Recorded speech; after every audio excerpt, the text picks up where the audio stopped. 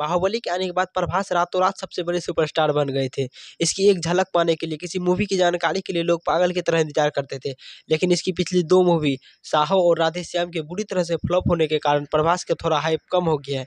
लेकिन इसकी आने वाली मूवी, सलार, जो कि इसके स्टार्टअप को वापस ला सकती है या नहीं, या एक सदी के नई सुपरस्टार बना के छोड़ेगी, आज उसी के बारे में बात करेंगे प्रभास की पिछली दो मूवी, राधे श्याम और साहो खराब डायरेक्शन की वजह से फ्लॉप हुई थी। लेकिन सलार के केस में ऐसा कुछ भी नहीं है, क्योंकि सलार के डायरेक्टर प्रशांत नील है, जो इससे पहले के जी एफ़ और के जी एफ़ टू बना चुकी है। तो आप लोग जानते ही हैं के जी एफ़ और के जी एफ़ टू कितनी बड़ी हिट मूवी हुई थी।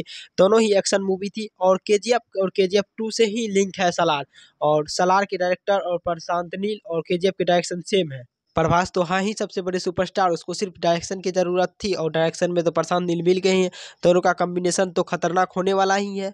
और सलार भी हमें बाहुबली की तरह दो पार्ट में नज़र आएगी। इसके इसके लीड रोल में प्रभास लीड एक्ट्रेस के रूप में श्रुति श्रुति हासन, मुख्य विलन के रूप में जगपति बाबू और पृथ्वीराज नज़र आएँगे। सलार जो है, ये पूरी तरह से एक्शन मूवी होने वाली है। इसमें प्रभास डबल रोल में भी नज़र आ सकते हैं।